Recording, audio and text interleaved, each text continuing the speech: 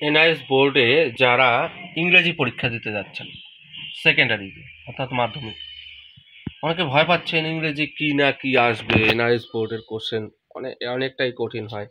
অন্যান্য সাবজেক্টগুলো দেখেছেন যে কোনো অথবা বা অর দেওয়া থাকে না। হ্যাঁ সবই লিখতে হয়। আর কোশ্চেন সংখ্যা বেশি, তাহলে ইংলিশটা কি করবেন?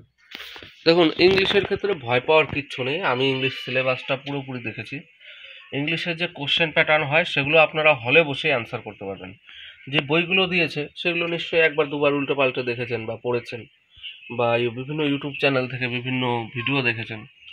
তো যেটা কোশ্চেন পেপার হয় আর কি, সেখানে রিডিং কম্প্রিহেনশনের উপরে কোশ্চেন দেওয়া হয় আর গ্রামারটাকে বেশি ফোকাস করা হয়েছে। গ্রামার সব টেক্সুয়াল আপনি যেগুলো পড়ে যাবেন, সেগুলোই আসবে। ওই যেগুলো পড়া পড়েছেন। যেমন ধরুন এই ডিগ্রি ন্যারেশন ভয়েস চেঞ্জ এগুলোই। সহজ গ্রামার আর রাইটিং স্কিলও ওইরকম ওই যে কম কমপ্লেন লেটার বিভিন্ন ধরনের লেটার প্যারাগ্রাফ এগুলোই আসে। খুব একটা হাইফাই কিছু আসে না।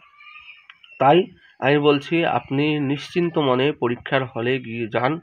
ইংরেজি নিয়ে আপনাকে চিন্তা করতে হবে না। আপনার ইংরেজি পরীক্ষা এমনিতেই ভালো হবে। পরীক্ষাটা সুস্থ মস্তিষ্কে ভালোভাবে দিন টেনশন করবেন না। টেনশন করলে পরীক্ষা খারাপ হয়।